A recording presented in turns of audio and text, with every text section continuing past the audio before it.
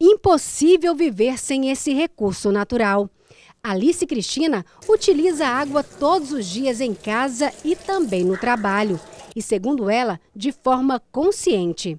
Pouca água. Eu reutilizo a água da máquina para lavar quintal, lavar o banheiro, a área do fundo. Sempre eu estou reutilizando. Na pia sempre estou deixando alguma coisa, um recipiente com água para poder estar tá enxaguando, sem estar tá deixando a torneira correr a água. O Dia Mundial da Água é comemorado em 22 de março desde 1992 e tem como foco principal a conscientização da população internacional acerca do uso correto da água potável. E para celebrar esse dia, a Assembleia Legislativa promoveu uma palestra sobre os cuidados gerais e manejo adequado da água e também a forma correta de descartar o óleo de cozinha. A palestra foi transmitida aos servidores da casa pelo especialista em recursos hídricos Divino Lázaro de Souza.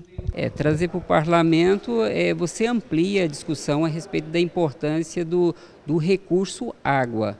Tá? É, é, a sua utilização, é a contaminação que a sociedade muitas vezes fazem desse recurso, reduzindo é, as possibilidades de você captar, tratar e, e distribuir para a população a, a água tratada. A palestra sobre a importância do uso correto da água foi uma parceria entre a Comissão de Meio Ambiente, SESMIT e Diretoria de Saúde da Assembleia.